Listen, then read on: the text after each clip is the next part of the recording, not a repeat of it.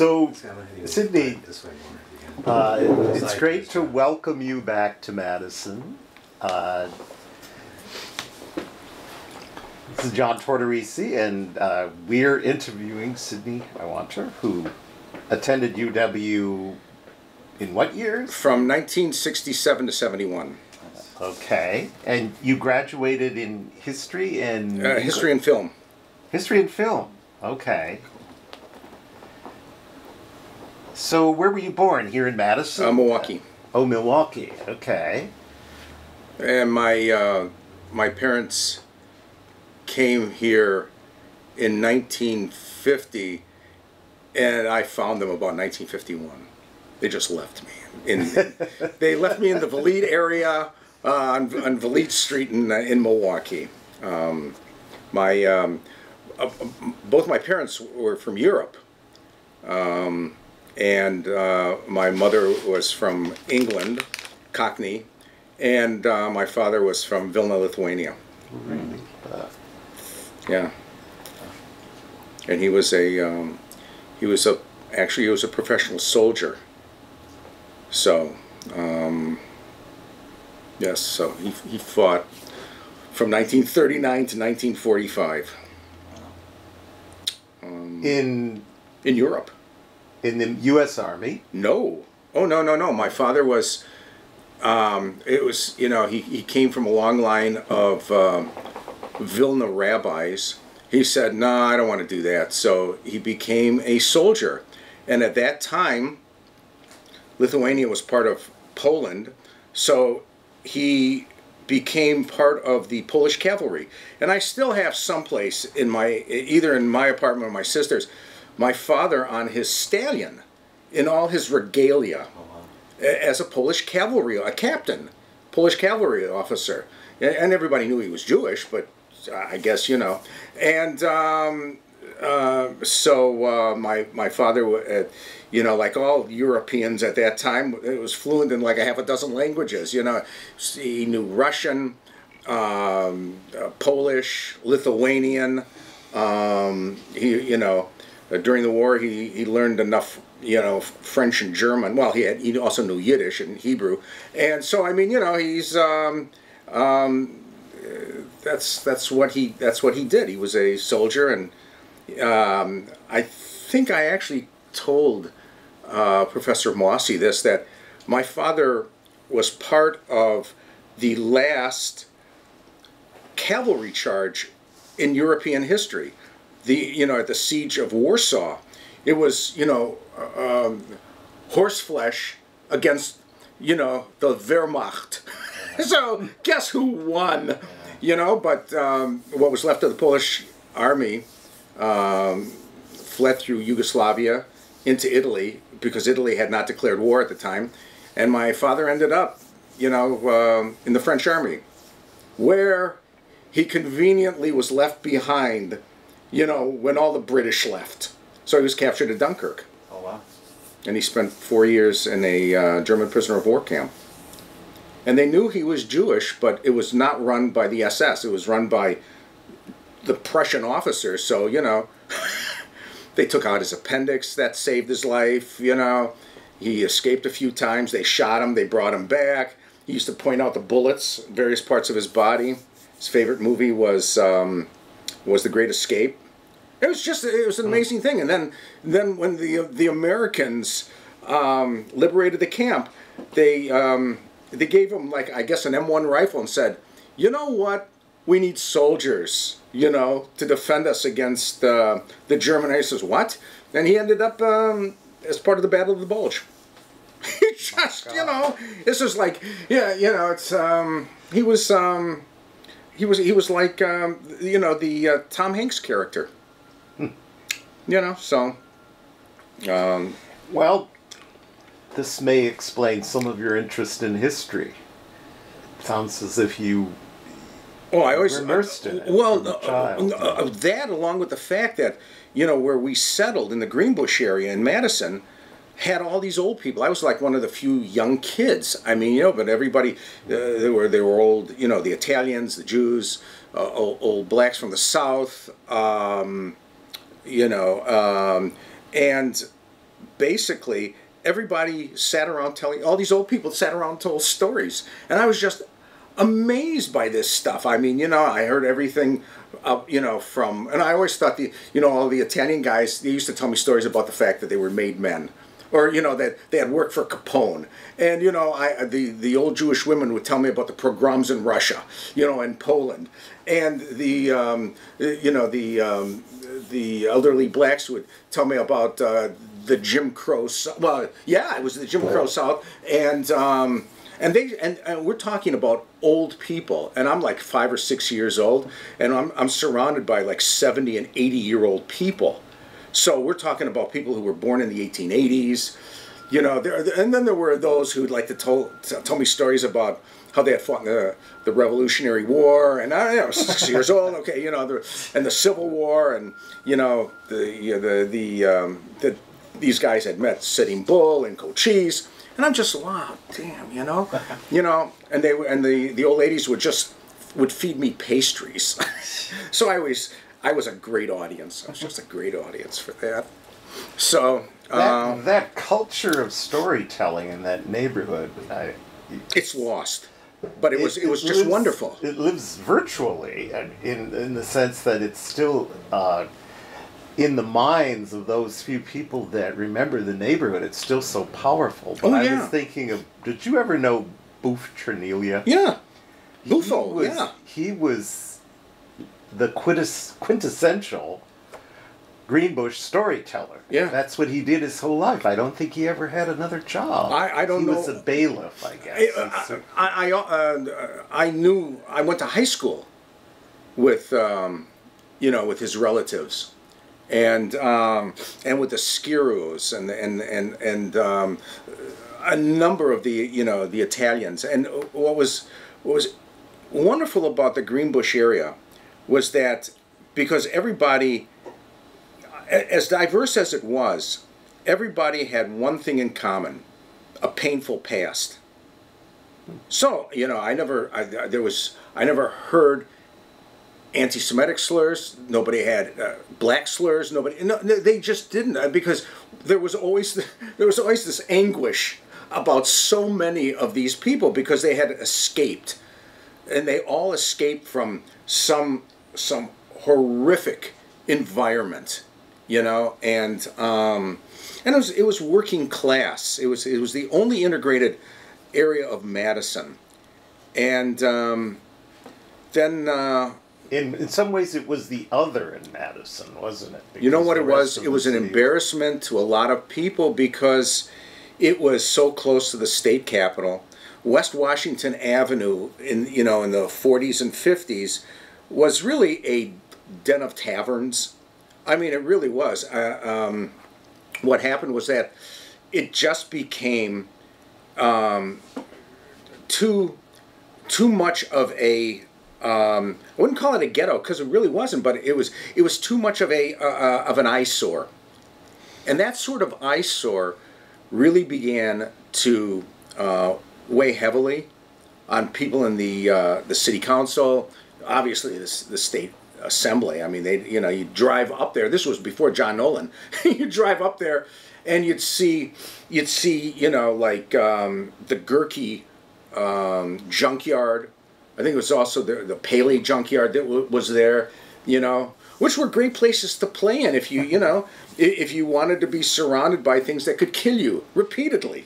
You know, They're the nails. Snikos. A Snikos. We used to play in the Snikos. yeah. And so again, you know, it, it was it, it, was a it was a historical environment. It wasn't like oh. I'm living in Shorewood Hills, so you know it's like I'm um, surrounded by rich people. Who cares?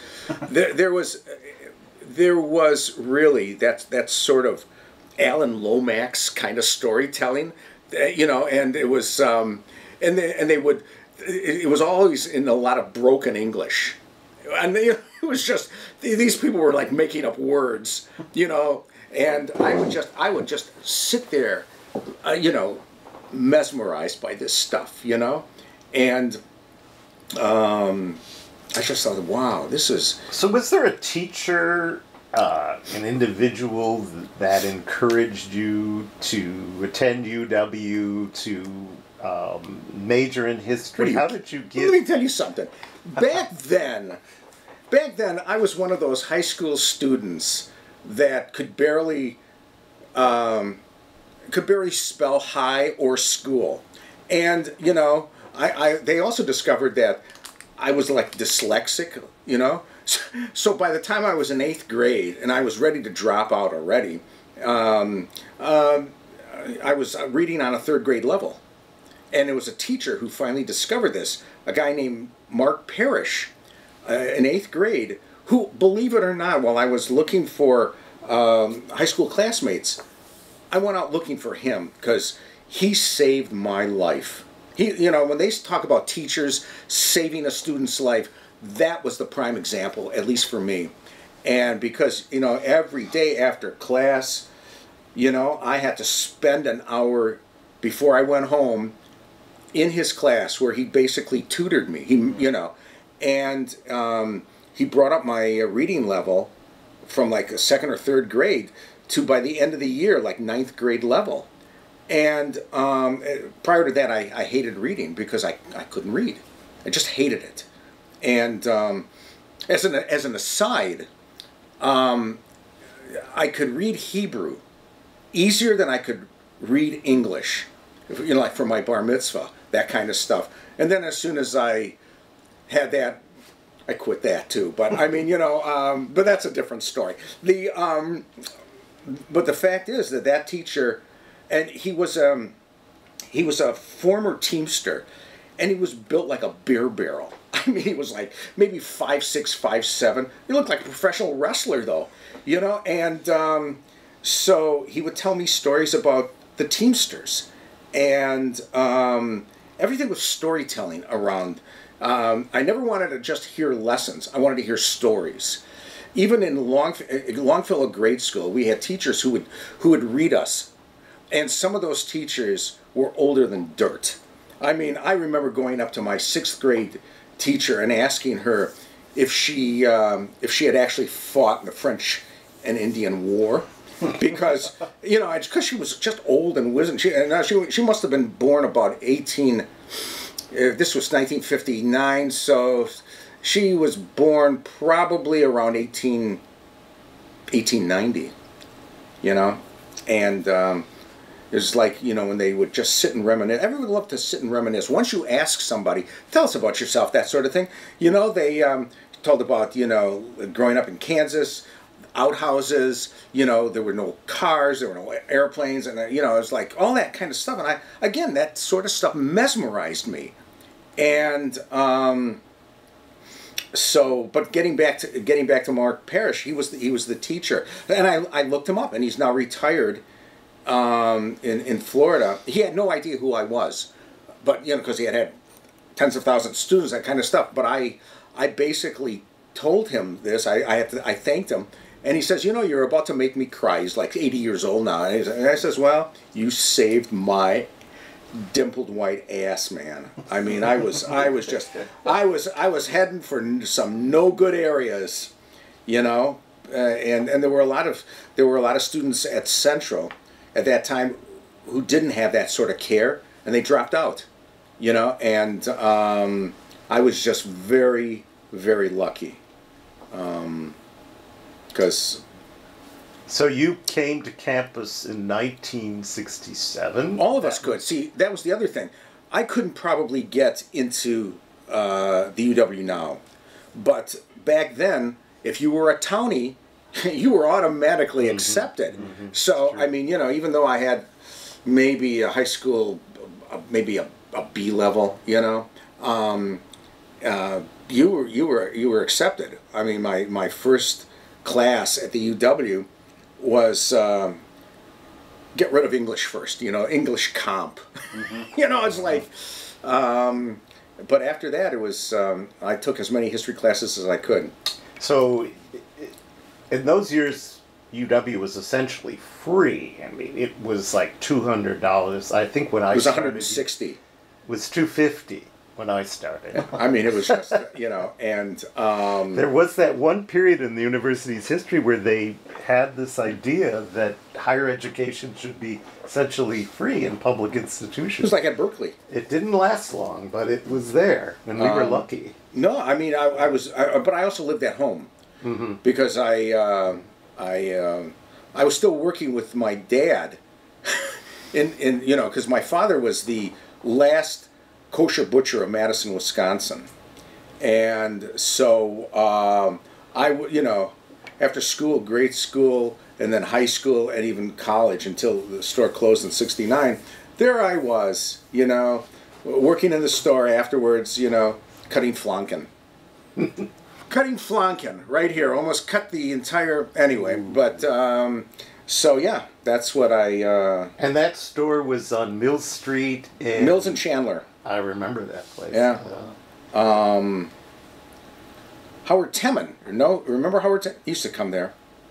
Yes, and uh, even after he won the Nobel Prize, he used to he used to show up there, and I say, "Wow," you know, I didn't understand a thing he said, but it didn't make any difference. I still wrapped the meat as well as for anybody. So so you were you came to campus in 1967. Seven. So what were your experiences? Did you get the feeling that the turmoil here in that year um, was appreciated in the rest of the city? What what, what right. was the milieu like? In, in because I live because I uh, you know um, I lived on uh, on Chandler Street, and I went to Central. Most of the time, I didn't take the bus home. I'd walk home from Central, and I'd walk down State Street. And I walked down, you know, it's, I, you know, and like from, especially from like tenth grade on, I walked down State Street because I like looking at the girls, and um, you know, trying to get into bars I couldn't get into, even though uh, it was like 18 at that time. And um, so what, what I would do is, and I, I've been wondering whether I can still do this, walk up Bascom, but I used to, I used to just, from the time I was about 15, I used to walk around the campus on the way home, you know, and then I'd, I'd go past, I, uh, you know, maybe it's Van Vleck, you know, and then down, and then, you know, uh, down Mill Street and stuff like that. Um, eh, um, so um, I, I was there when the, the, the tumult began.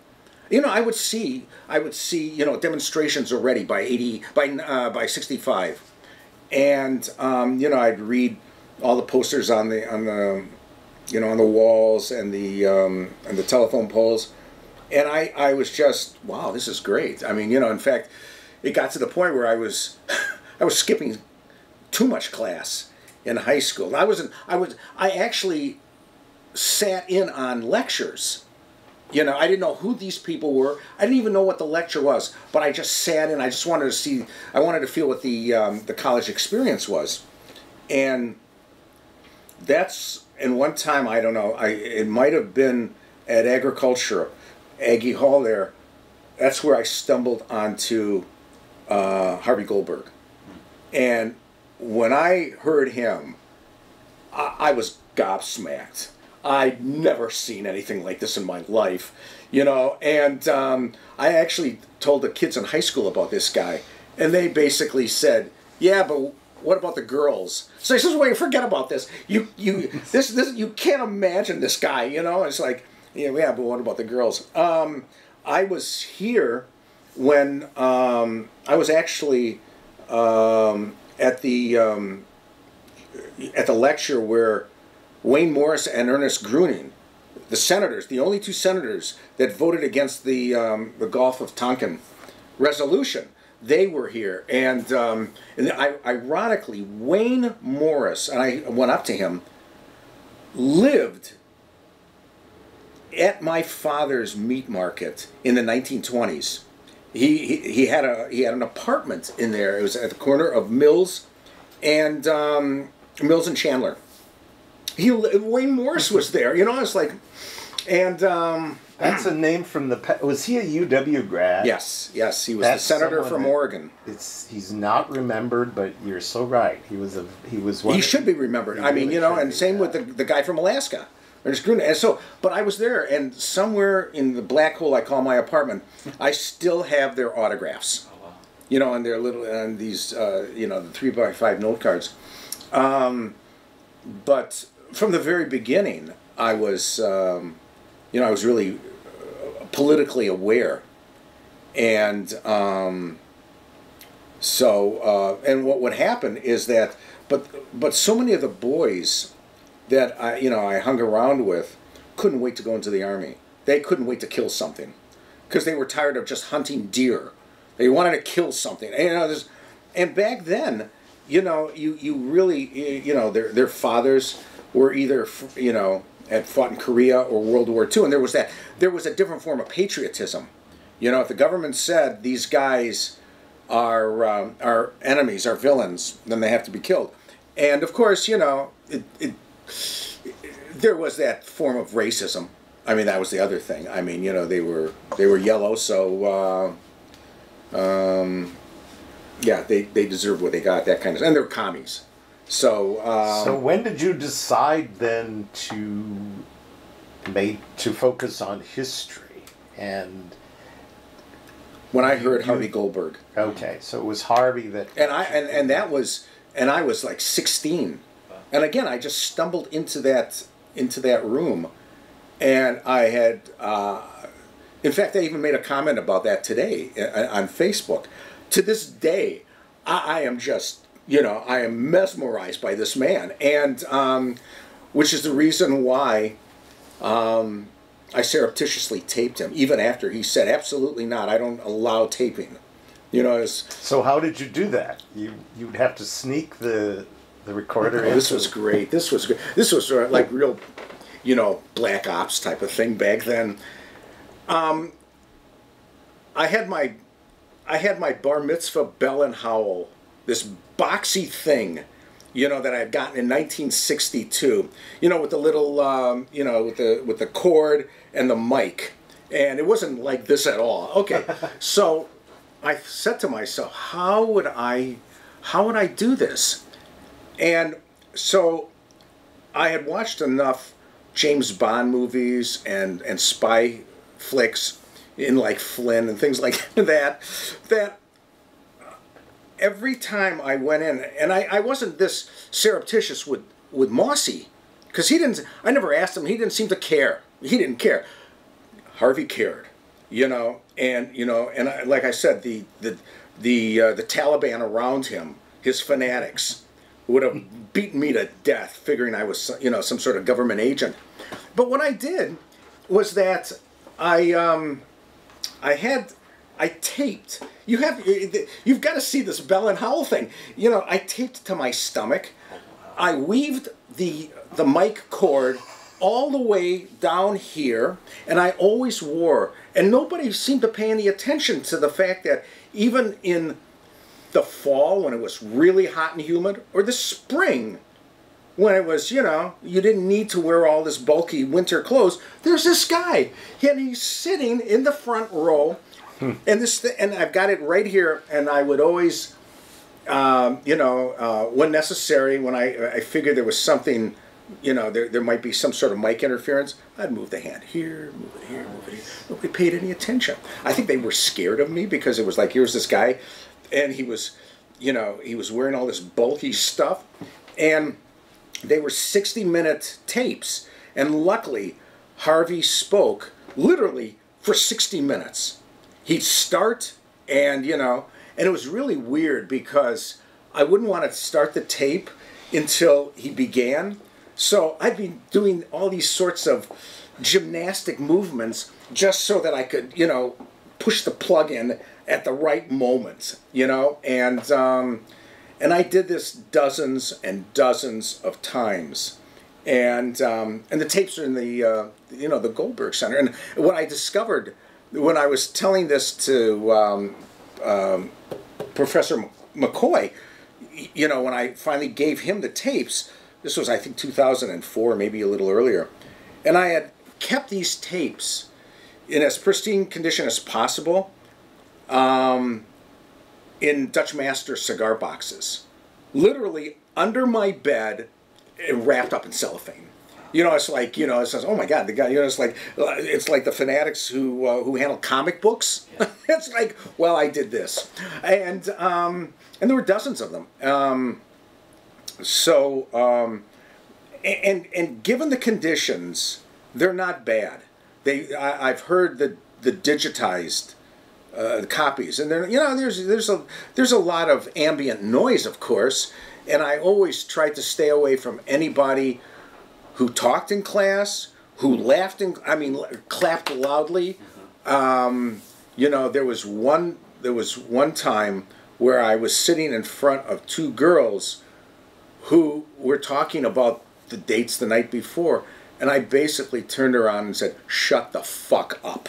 You know, and I'm glad the boyfriends weren't there because they were like big, huge guys. I, I discovered, and they shut up. You know, because the master was speaking. So, what was it like in a Harvey class? I took his classes too, but. Uh, When did you take describe- In uh, the early 70s, 71, 72. All right. He was very much the same, uh, but he was a performer. Oh, He yeah. in- he Oh, yeah. really engaged your attention. He would walk. Uh, yes, what he would do is he would walk out from one of the wings. You know, he'd just walk out, no notes. You know, and it's this kind of this this hawk face, the nose, and you know he and very lean. I mean, just he was like emaciated. You know, and he also had like nasal problems sometimes. You know, he, uh, uh, sinus condition, and so he smoked so much, five packs a day or something. yeah, I mean, but we never saw that, you know, you know, and um, but he'd walk, and then he'd do a he'd do a profile like Sarah Bernhardt. He would just, you know, and he'd he'd do this, and then he'd start. Yeah, he he would he would just do some sort of mannerism, take his glasses off, you know, he'd do this, and this, and then boom, he was he was off to the races. And in all the years and the and the dozens and scores of lectures I heard, he never stumbled once. He never said ah. It was it was as if he was on some sort of accelerated you know alternative plane. And he was speeding through the universe. And it was it was so erudite. And his references in french or in german uh, the, the the dates were were they were always they were always at the tip of his tongue. I've never I've and I've heard great speakers. I actually I actually heard Martin Luther King here.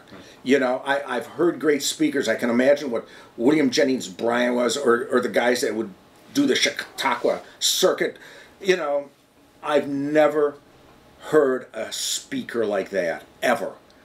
it's I could see where this would resonate in particular with uh, what you said about storytelling as a child. Oh, yeah. And, and Harvey was a storyteller, and he told stories in an incredibly uh, effective way, um, and in a, an accessible way for undergraduates. You were And- swallowed yeah. into history. You were there in at the barricades in you know in 1870s Paris. You were there like at the you know just just imagine you know the, the the visceral sensation of watching Eisen, Eisenstein's you know uh, Odessa step sequence. You were you were literally on those steps. Um, you were uh, you were in the uh, the the syndicalist movement. Um, the the, uh, the you were there when uh, Jean Jaurès was assassinated. I, I, mean, it was like uh, you, know you were you were in the carriage when the you know um, Archduke Franz Ferdinand was was was shot. You were sitting between him and his wife. I mean, you know, it was like it was like that. Um, it, it was one of those, and you you know you were at the guillotine. You you were you you were closer than uh, than Madame uh, Defarge. I, I mean you know, and his he- he just he he, he was just so much of a, a genius that you you know it, it you didn't really need to learn anything else. It was like "Ah, i've learned enough about the french revolution because i have you know i've i've sat through uh, a semester of harvey's of harvey goldberg.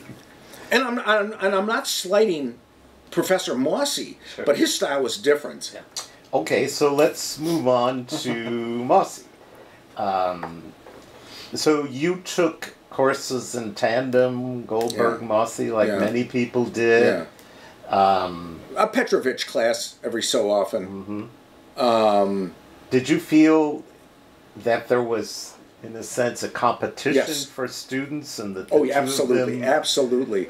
And but you know, um, the, the the the the difference was, you know, and I said this to somebody, and it wasn't it wasn't meant disparagingly back then, but I said, you know, Harvey is one of the Valkyries. Professor Mosse is Siegfried. That's, he's just, you know, he's just you know, or he's Barbarossa. I mean, this guy, he's just, he's, he's there. He's a pillar, you know, it's like, you're not going to get past him. Um, and, um, but he was, um, yeah, but, but, but Professor Mosse's class was in a way totally different um, because it was, it was far less emotional, but much more, there was much more of a sinister aspect because of you know um, and, and and and I always thought it was much more melancholy and dour because when you're talking about Nazism, when you're talking about anti-Semitism, when you're talking about you know Euro, European form of racism, the way Harvey described it, you couldn't wait to battle it. With Professor Mosse, it was like you know, it it was like the Johnstown flood coming towards you. There was nothing you could do about it. You just had to, you know, sit there and wait for the deluge. And But um, the, the but the point was, in the end, the same. It, it was to make you think Oh, critically absolutely. and act. oh yeah, and um, but the, the the thing is though that George uh, never said jump on the barricades. Harvey said jump on the barricades, use your body, you know that sort of thing, metaphorically. But Metaphorically. he didn't.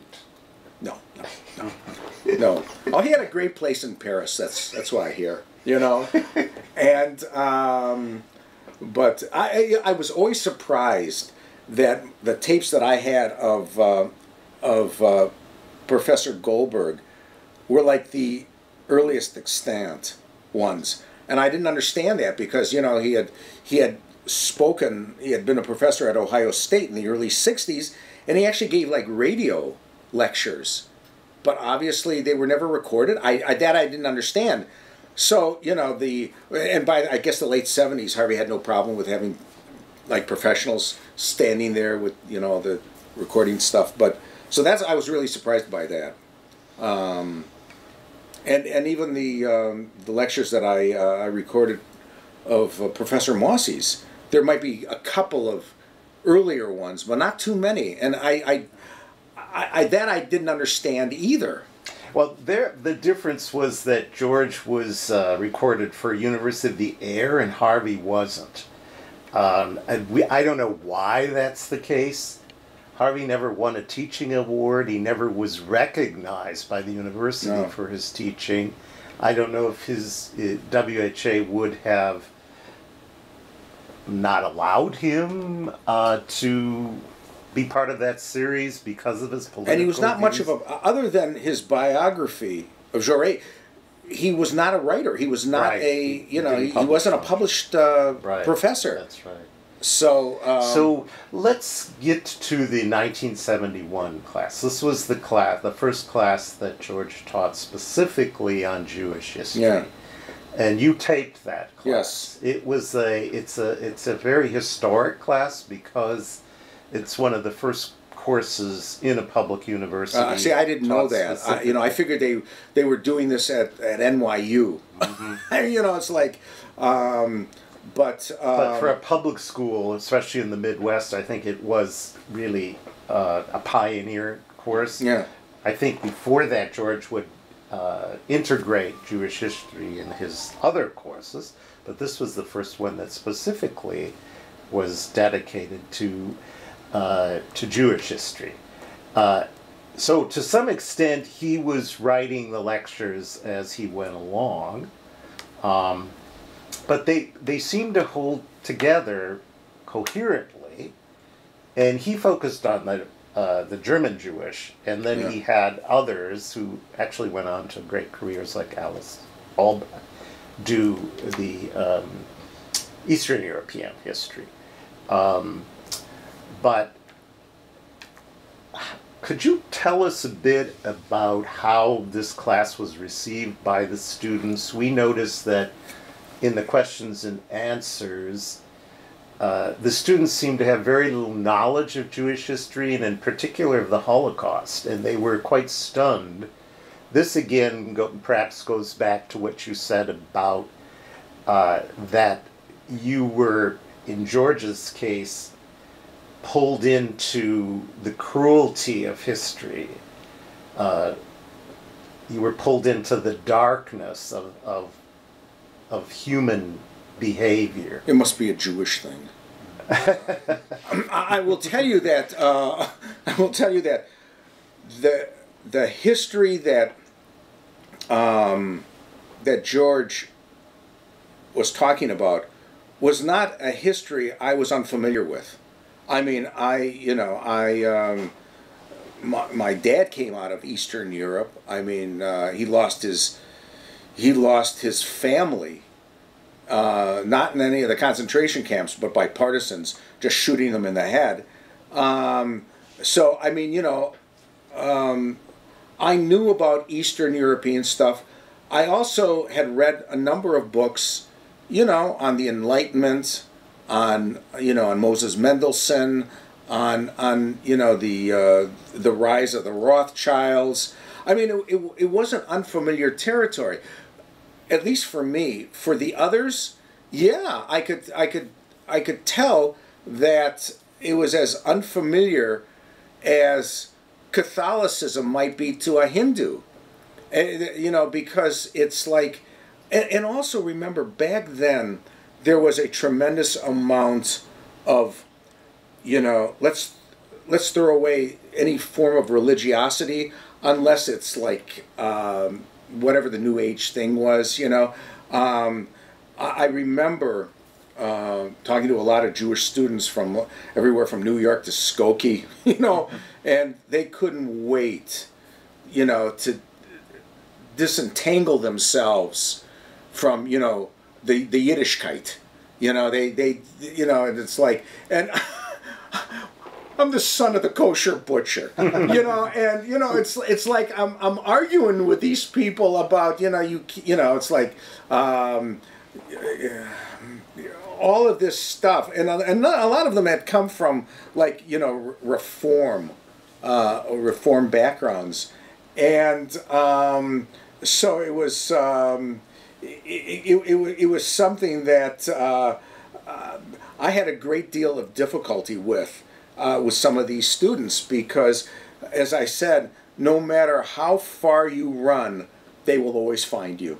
You know, which which is just so Jewish. It's like you know, and um, but but it's but in that regard, it, you know, it was true, and a lot of these, uh, you know, the, um a lot of the Jewish kids might have heard about this from their you know their booby and their zeta and you know that kind of stuff, and they ignored it. The uh, the non-Jewish kids, though, even by that time, had very little idea about the Holocaust. Had very had no idea about Jewish history, other than the fact that uh, you know, as one of them said, I wanted to come in to, to, to see you know how they were running Wall Street. You know, so the you you had that sort of um, you know the, the, the, that that that kind of um, um, anti-Semitism, um, you know, which you which you hear today. I mean, you know, it's um, the dark forces that run the media, and Wall Street and uh, Goldman Sachs and things like that. Um, so, yeah, I mean, you know, and it was it was a it was a class that, if I remember correctly, was not packed, and it was um, and and the reading um, the, the reading list was difficult, but it wasn't unfamiliar to me. Um, It was a capped class, and that there was only a certain number of students that were allowed. It was a small class, probably because this is the first time they taught it. But we had the feeling of just listening to some of the tapes, a kind of emotional intensity that that perhaps, as you said, this was the first time many of these students were engaged in this history, and it was it did come at a particular time because, you know, in those years the Holocaust still was not as prominent a part of Yeah, but uh, I also Jewish identity. I also think that that Professor Mosse was digging really deeply into his own soul. And you know, it's it's one thing to talk about, you know, intellectual or intellectual history of like the 18th and 19th century. It's another thing to talk about the reason why you had to scram out of Berlin you know, and that your your relatives were involved, um, that sort of thing. I mean, you know, so there was it, it was it was the sort of e- emotional impact that you could hear in his voice. That's fascinating. So That's fascinating. you know, it's and um, so that was you know. I uh, do think that, that George always used history to understand himself. That he he used it. Well, this is very simplistic, but almost kind of as a form of of uh, therapy, uh, a, a, a form of um, uh, understanding self-analysis. personal. Yes, through an intellectual engagement. Um, I mean, I think you know when when um, uh, we thought about uh, entitling his memoir "Finding Myself in History." Um, we didn't use that title, but I think he did use history in that, and he used throughout his career. He uh, investi- investigated areas of history that resonated with his own um, preoccupations. So perhaps this was the first time that he engaged in that. I, I, that I would that I wouldn't know, but I you know it was um, um, I found it a you know I found it a very um, edifying class, um, and uh, you know Well, I- and thank you for taping it. For us, it's just really. oh well, see, but I was I, I did that only because I wanted my dad to hear it, you know, and um, first time he heard Mosse's voice, he says, "Where's he from?" No, he's cool, Dad. He's cool. You know, it's like, you know, it's like really okay.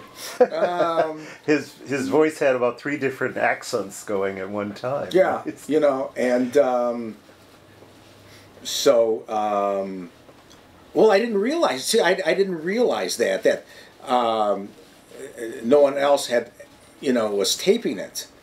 Um, you know, it just I, I just I did it because I wanted my dad to hear the tapes, and uh, and my mom, but primarily my dad, and um, it was um, yeah. He, he, he used to he, he would always say, yeah, you know, I, I don't know much about you know uh, the German Jews. When's he going to start on Polish ones? so he says He "You know never got I'll, to so I'll, I'll, I'll talk to him about it. Let's see what he does. You know, and um, so yeah, but uh, So anything to help. yeah. So the in many Excuse ways, me, excuse me. Yeah. the quality of the tapes are good though because I've I've heard the you know I don't I don't I never got a, a digital copy of the uh, of the Mosse stuff but I have all the uh, the Goldberg So we just went through a process of restoring the audio. We had one done one pass of cleaning it up, but we a specialist at continuing studies went through and pulled out a lot of the ambient noise Yeah. and the background noise specifically for the course that we're offering, but that's something we'll do eventually with the whole series. But one of the questions we had was do you know where the tapes do you have those tapes still? I gave no I gave I gave everything to uh oh what To Well, Professor the original McCoy. cassette. Well, we could ask uh, McCoy. Al. Yeah. Yeah. oh yeah I he I gave him um all you know I gave him all my um my Dutch master nice. you know Okay. and uh, no Thank you. unless of didn't know course he has sold them on the black market Yeah. that I can't tell you Yeah, yeah. that. Okay. And you said, yeah, go ahead. Sorry. Um, What what do they ha- they have to have them? Otherwise, So what we what I always had was an MP3. So they had been initially digitized. yes, we, we did. We had them digitized. Right. But we thought with with the process that we're going through, trying to clean them up, it might be easier if we read because technology has come so far in the last ten years since they were first. jeez, I hope he didn't throw them out. I'll talk to him. And, We'll find them. yeah. Uh, so, Threaten them with tenure. Yeah. so many of the much of the anti-war activity on campus in those years really originated in the history department and other departments in the humanities and, and, and social sciences. Um, Not in engineering. yeah, I mean, they were, of course, it was the draft, and, and so they could be pulled in as as part of of pro, specific protests in a way that probably now would be more, much more difficult. But um, were you involved at all um, in the protests, and did you? Uh, could you tell us about what it was like in the history department in? Uh, Do you have Do you have David Maraniss's? They. Mo- Do you have a copy of it here? Not in the office. they marched into Sunlight. sunlight. Do you actually? It's probably. I'll show you me. You're in one of the. I am. I am in one of the. I am in one of the definitive uh, pictures of of the Dow chemical riots. Huh. I'll show you exactly where I am. I am in that picture where the cops have charged out of the building and one guy is about to get hit in the head with a baton. Baton, I am two people behind that and, you know, kind of bug eyed.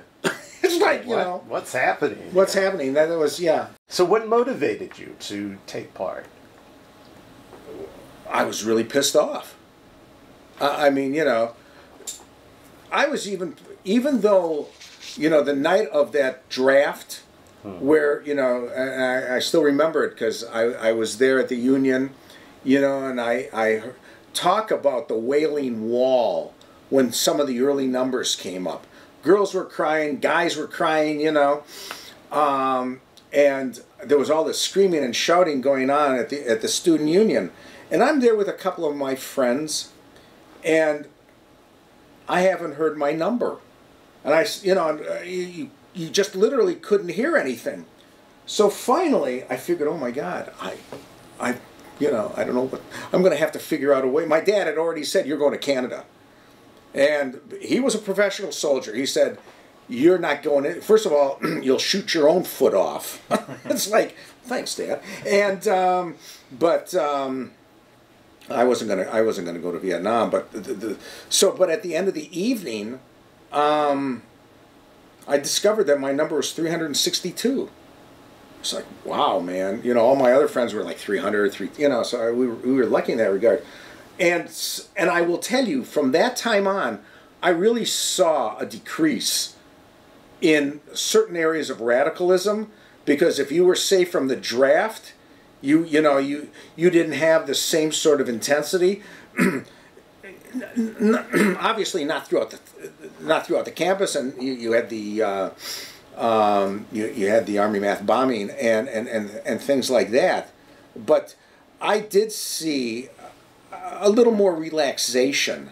Um, but for those, what was interesting is there was a relaxation on one part, but there was more intensity and anger for those that were involved. You know, They And- became more radical. Yeah, oh, yeah. Core.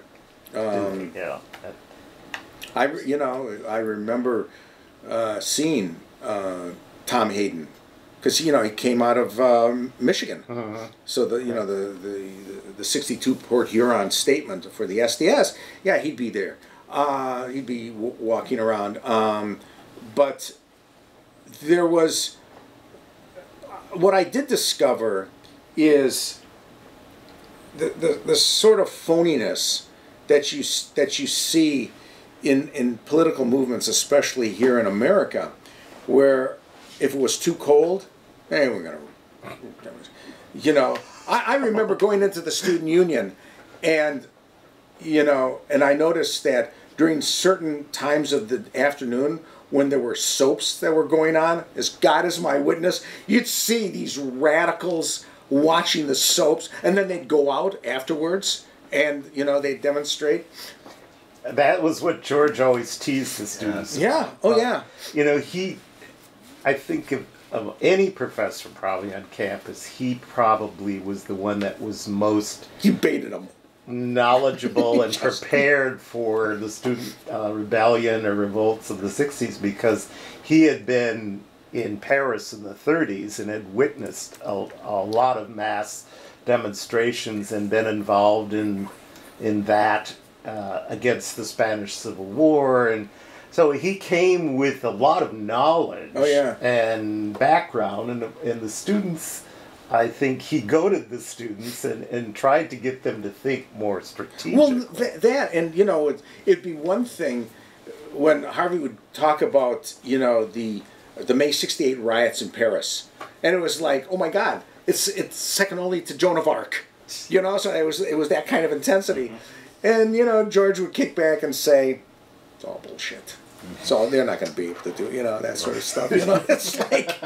I don't know whether he used the word bullshit. He might have in German. I, I don't know what it was, but um, yeah, the um, but but you do have a, a, a, a sense of rationality among Professor uh, Mosse's lectures. I mean, you know, it's uh, whereas you know uh, Professor Goldberg was uh, okay. It's time to go to the barricades Yeah. again and again and again. No matter how many times, you're still going to go. Yeah, fascinating.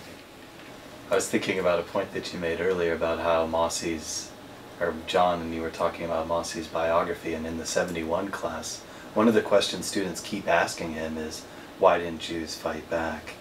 Like, why didn't they take Oh, yeah. arms? And, and I think maybe that did strike a personal note for Mosse, who left. And was thinking about, and his, his response would always be, there was no coherent there's no Jewish thing. That was something in Hitler's imagination. That the Jews of Europe were spread across geography. They're spread across social boundaries. They're not. There's not a Jewish monolith. Well, that along with the fact that you know, um, a lot of nobody had the number of guns. My dad didn't see a gun until he joined the army. You didn't, you know, um, you had guns for hunting, but you, you you didn't have the sort of lunatic proliferation you have in this country. Right. And also, as as I George tried to explain, that it's really if you're a minority of 20 in a village in the shtetl how are you going to fight back you know with pitchforks uh, especially when everybody uh, you know for the last 200 years had been uh, revved up to believe you you know you were the devil itself. So i mean you know um, it's um, you fought back you know when they finally got guns at the warsaw ghetto they, they fought back and, and things like that. But it's um, you can you can say the same thing about you know the the slaughter of the the Belgian Africans you know uh, you know at the time of uh, King Leopold Right. millions were killed okay uh, why didn't they fight why didn't the what was it the uh, the Hutus Right. fight back. In Rwanda, I, there there are times when you just can't. Yeah. You just the thing you you fight by feet don't fail me now. Yeah. That sort of thing. Um, well, George used to say that survival was a, a, a form of resistance, Yeah. just being in, in such extreme circumstances. I think that's partly why I spend so much time on the stereotype to try and explain to the students that there's this thing in people's imaginations. They don't see Jews as a person. They see they have this idea that's been revved up and he traces it. And I think it's in part in response to You know what? You, you also you, what you, you see it today in in alt right terminology. It's not the ugly kind of anti-Semitism. It's like when a you know that piece of shit Steve Steve Miller, who's Jewish, you know, uh, from Santa Monica, who you know whose parents are millionaires, use the word cosmopolitan, you know, and you know right away what he's talking about. Um, the um, so you know Mosse would have a field day with guys like that.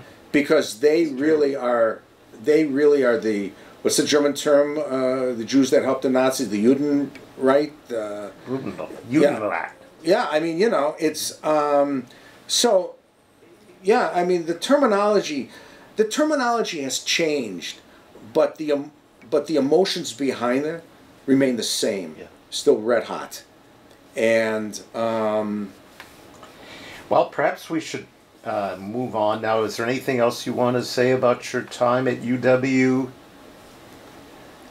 Were there other professors? Um, Well, that- I, I, I will say that if, if, if I hadn't had a girlfriend who typed all my papers, I'd probably still be a student, uh, you know, you know, playing uh, uh, hearts in the Union. Um, you know, right outside the Paul Bunyan room, which hasn't opened yet. Um, I, I will tell you that um, I don't think you really appreciate an education until years later. You don't appreciate teachers, the influence they have, uh, unless you stay within academia. If you don't, you know, if um, you, you, it only comes back to you um, either when either when you decide you want to become reflective about life or you have kids of your own. Um, but I'm always talking up Wisconsin. Um, I, I, I- even though I live in Los Angeles, every day I read the, I read the Times, Channel Three Thousand, you know, uh, Wisconsin Alliance, all this other stuff, and I'm always posting it on Facebook. People still think I'm I, I live in Madison. Say no, I don't live in Madison. Um, and I get really, really angry at, at the cuts Scott Walker and these and these mumsers are trying to do here. Um, uh, uh, yesterday, um, I was at the uh, special collections at the Memorial uh, Library because there are a couple of things I, you know, I've reached that certain age. You know, there's there's nothing like having a six-hour uh, angioplasty. You know, where they stick heart stents in, and you hear doctors, you know, hotshot cardiologists talking about a lot of stuff. When you're watching, you know, you're you're watching the transformation of a clogged up Mississippi River Valley, you know, back into normal shape again. For you to start thinking about, geez, what am I going to do with all the crap that I've I've collected over the years, and um, so you know, this is one of those times where you know I was at the Chazen yesterday. There's stuff that you know I I, I want to give them, and uh, there's some special collections books and, and, and, and things like that. It becomes you know it's it's that sort of melancholy trip that you really don't want to take, but you know eventually, you know. There's uh, also UW archives if you have uh, UW related materials. They, they I, well, I- that's why I gave the tapes. I figured, you know, what was the point of keeping those? Um, you know what? I, uh, and here we go with my mother again. I was talking to the I, I was talking to the um, uh, the special collections people yesterday, and I said I had because from like 1965 to 1971, I spent a good deal of my time taking posters off of telephone poles and, and walls and, and once they once they were done and collecting them and putting them away in nice little um, liquor boxes, you know, and uh, from Sunoco, you know, and and you know the black light posters and all of this stuff, you know, and um, I tell my mother, don't throw them out. I'm only going to UCLA, you know. It's I'm I am not going to the moon. I come back. This is '71. I come back summer of '72.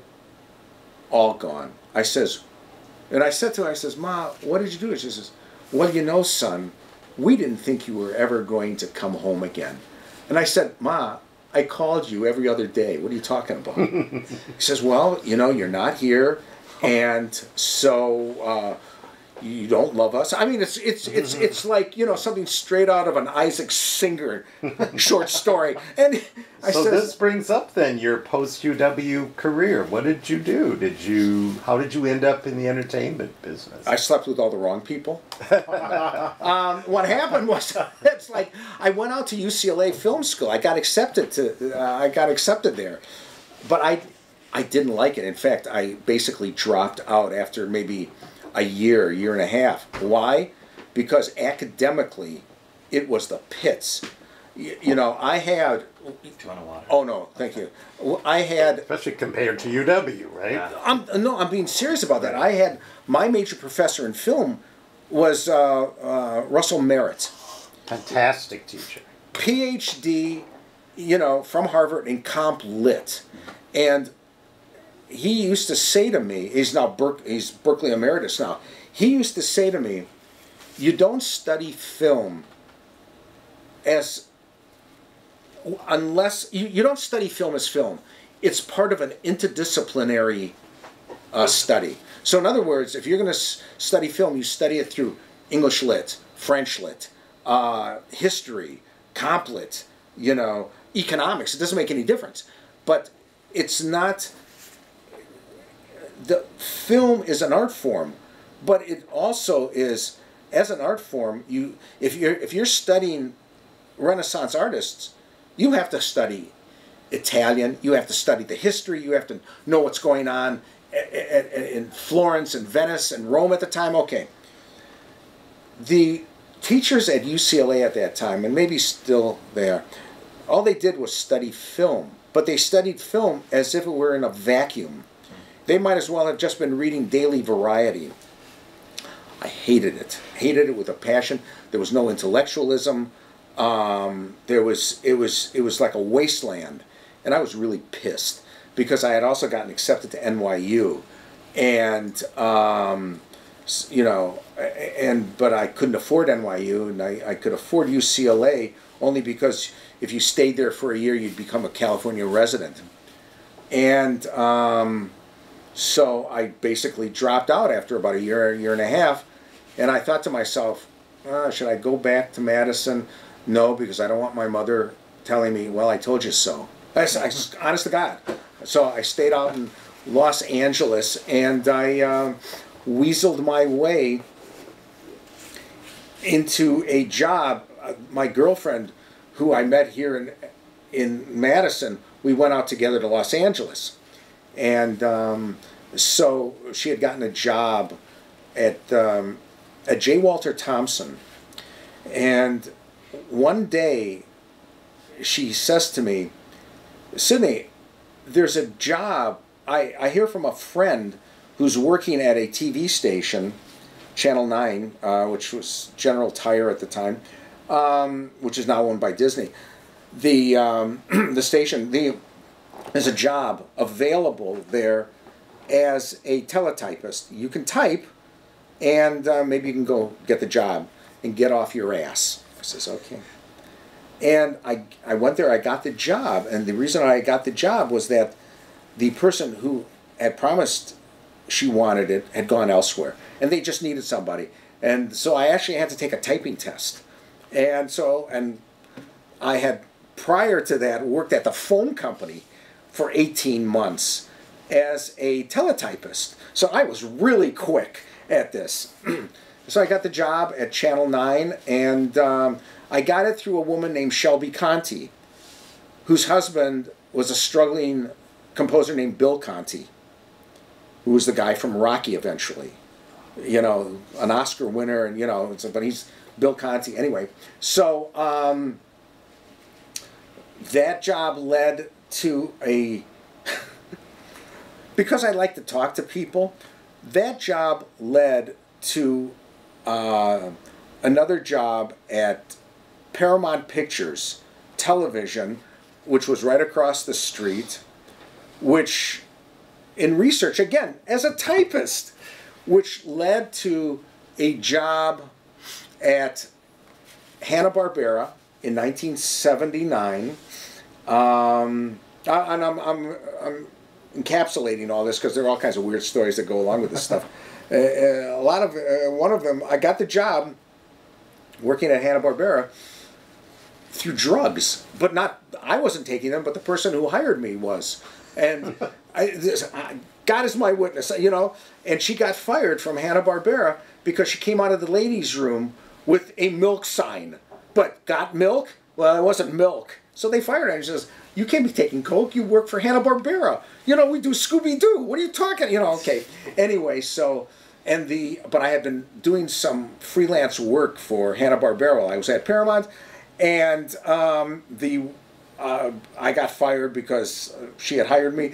Six weeks later, I say, "Man, I, I gotta get I gotta get this this job," you know, because uh, I'm losing too much money playing the horses at Santa Anita and Hollywood Park. That's what I used to do. That I used to make I used to make extra money you know, trying to play the ponies as well as, um, you know, poker because there were poker parlors back. I was a real reprobate. I had just, you know, um, I, I would have probably ended up as something straight out of Guys and Dolls if I hadn't gotten this job. So I, um, I, um, I called, I call up to get my Hanna Barbera job back, which was just a freelance job, and the person who answered the phone was the person who had just who had replaced the woman who had a coke problem because she answered the phone because her secretary was in the bathroom. And one thing led to another, and this woman hired me, and this woman became my like my rabbi in a way. She hired me and fired me three separate times, all for insubordination over the years, different jobs, and um, so she hired me at Hanna-Barbera. She hired me 10 years later at Marvel Entertainment. And then a year after that at Fox Kids, where I became, everybody got to know me because of the shows I worked on, like in animation, like X Men and Batman and Beetlejuice and Spider Man and Silver Surfer and Goosebumps. And so, I mean, you know, um, and um, that's basically you know that's so you kind of fell into it it sounds like. uh, yeah oh yeah i you, you know i i fell into it because and a lot of people fall into it. Right. Because those of us who didn't you know when i went to ucla i didn't want to become you know a production person. I, I didn't i wanted to i wanted to be harvey goldberg or george Mosse, and i knew i couldn't because i don't I don't speak like that, you know. So and I, I just ramble on, and I just you know my my stories. Most of them are um, you know uh, except the ones I tell you. You know, there there's a lot of tall taleisms about it, you know that sort of stuff. But um, eh, but that yeah, you do. I fell into it like a lot of people, um, and I've spent forty years in kids programming. What are you most proud of in, in terms of your in the in, uh, in the work in, in kids program? the X Men the X Men show because they still talk about it today. Yeah. Because this, what this show did, this is animation from, um, it basically revived the Marvel universe. It proved you could do this. Um, um, Singer, the the uh, the director of the first X Men movie, never read a comic book he said, I only watched the series to get my, uh, you know, to, to understand that world. And I was the network executive on that show, which meant that everything passed by my desk. All concepts, all scripts, all storyboards, all the um, all the, uh, the you know the P, the pre the post production. You know, I was there with the editors and all this other stuff, and um, to this day, it's probably the most sophisticated storytelling for a child. I don't, I don't know if you have ever watched it. Yeah, I have. You know, and so, and then it's it, it the animation might have sucked, but those stories, man, Yeah. they were they were multi-leveled.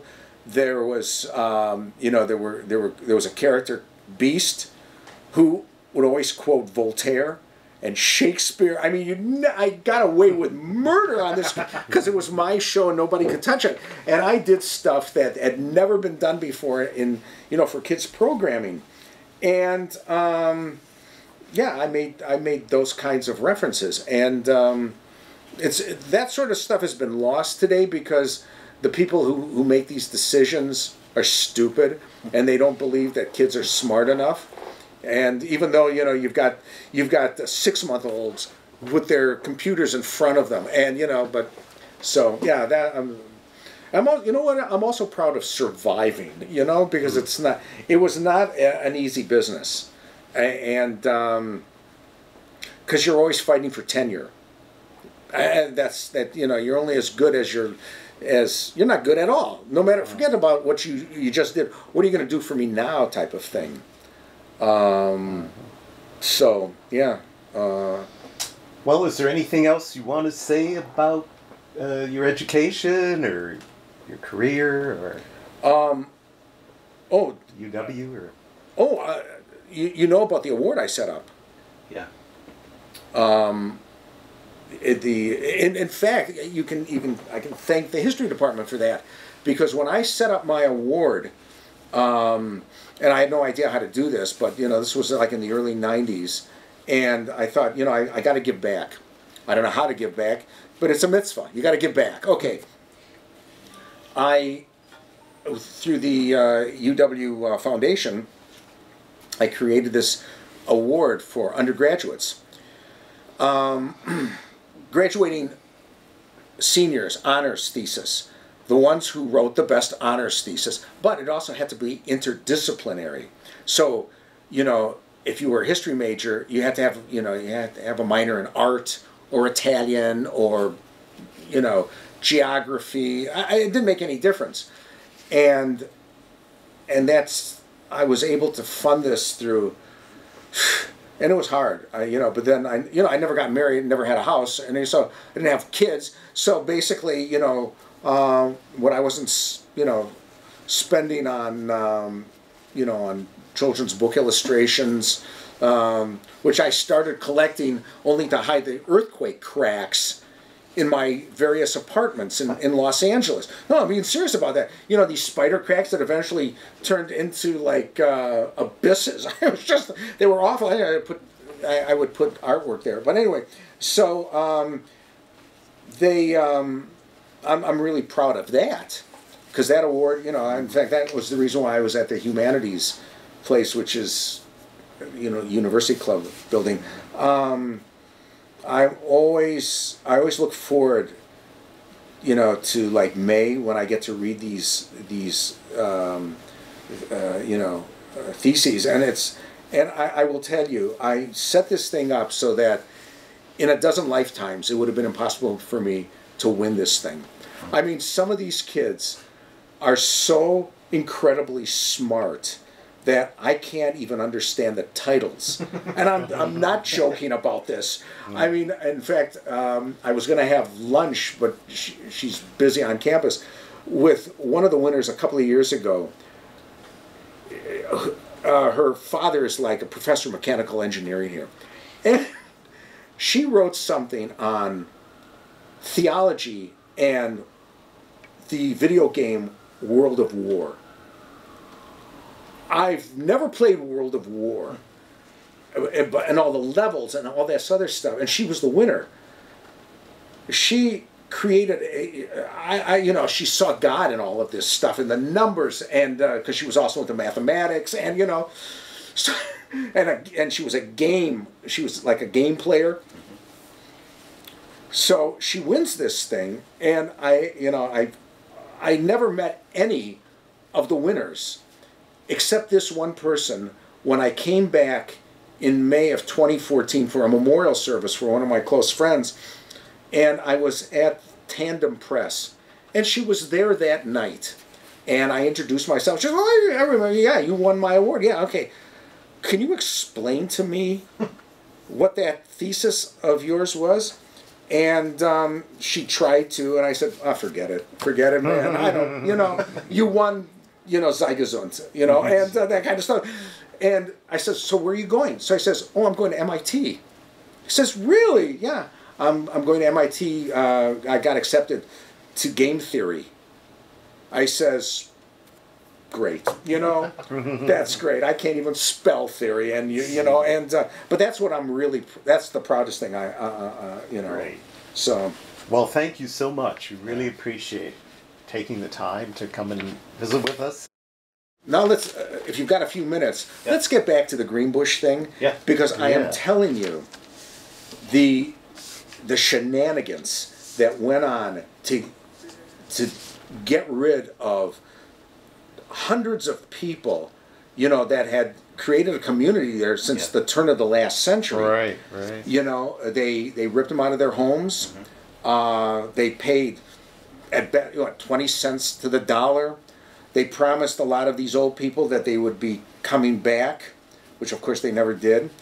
Um, and uh, they they ripped out the you know I, I, I think of it as like Cabrini Greens, you know they rip out uh, although you, you know it was like urban blight. We're going to make Madison beautiful again, type of thing, and uh, I always thought it had something to do with the John Nolen Causeway because you know you're coming in from areas you don't want to see. You don't want to see Fort Apache here, and it wasn't Fort Apache, but I mean it was a, it was a blighted area, and um, so you know It was. There was all this money that all of a sudden became available in Yeah. Washington. Of course, this was a national phenomenon, and it was Nestigan, uh, oh yeah progressives that plugged into that money. And this area of Madison was the only area that, in the sense, housed any kind of difference, in the sense that pretty much everyone else in the town was German or you know, white Northern European. It was the one area that they could identify, and it also was next to the university and next to the hospital. So it had, there were vested interests that wanted that area cleared it so was- they could they could grow. So there were, I think, a lot of economic reasons for it. I mean, the neighborhood, if it had evolved, I mean, I think people were beginning to move out of the neighborhood. Well, the younger generation. The younger generation It would have been restored, is probably what would have happened over the years. It would have been, you know, gentrified, I guess. They, it would have been like like Willie Street, you know. yeah, but that's what it ha- would but the, the thing is th- that they used a sledgehammer and they used a lot of lies. Yeah, And I remember, I, I remember th- uh, Longfellow School used to have um, these meetings, and it got really, really heated because there were, you know, there there were urban groups at that time who knew exactly what was happening, and you you had a lot of white radicals who were who were part of that as well, and. Uh, but it's it's fascinating if you go back and read the Cap Times and, and the State Journal um, about all the you know the promises that turned into anguish, and um, and and it just drove. Uh, you know, we were driven out. My parents were driven out of, out of that place, and um, if you notice that they they tore down the Triangle area, but they didn't move past. They didn't move past um, Mills. You know, they got, you know, where Madison General Meriter is now, they only got rid of like one building, which was, I believe, St. Joseph's Church. Because I was there, I was watching it when that, when that went down in like 62, 63. Um, but um, it was really interesting that suddenly that area, which was also considered Greenbush, uh, wasn't touched. It was just the area, you know, with uh, the with the Paley and the um, uh, you know the uh, the the Gerke uh, uh, junkyards. But and, they gave they got rid of the Schwartz Pharmacy. That went right up Yeah. to to Madison General. Those two brothers, and then they tra- they uh, moved into the first floor of a new development Yeah, there. yeah. But I do recall they they tore down that whole area. it, right it, it's it's a fascinating history because they they tear it down. They build up a Soviet style, which they're trying to tear down now, apartment building, and for years, decades actually, there were there were vacant lots. Mm-hmm. There were just right, vacant was lots. It, nothing. it was like, wait a minute, you were promising all these old, and you know, it's basically all the old people died. They all just died, and um, so you've got a couple of. Uh, you can see I'm still pissed off about Yeah. this because I remember going to these meetings and these old folks, you know, they were in their 60s, 70s, 80s. They were crying because they were being thrown out of their homes and they really didn't know where, you know, where they were going to end up. So they ended up on the south side, you know, and uh, you've never had as integrated an area of Madison since then. Oh, it's true. You really haven't, and you know That's um, true all over the country. That that's what happened. Uh, you took integrated neighborhoods and separated them out, basically. and it was a working it was a working class neighborhood. It wasn't you know where everybody was on welfare. I mean, uh, you know, they worked at at Gisholt, Rayovac, Oscar Mayer, and so again, you know. There's there's a and you can you can compare it. You're right. The the, the federal response after World War II of uh, you know getting rid of certain areas and and building them up and trying to create suburban, you know, suburban uh, uh, plots. Well, you know, I'm just telling. Right. So